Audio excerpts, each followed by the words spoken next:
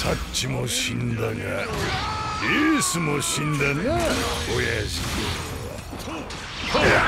いくぞ調子に乗りやめるんじゃねえぞ。行くぞ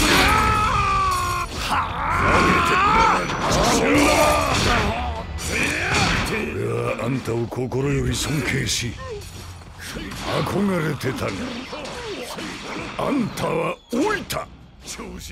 俺の前では能力は全て無駄だ。ぜはどうだ？もう自信は起こせねえ。ここまでか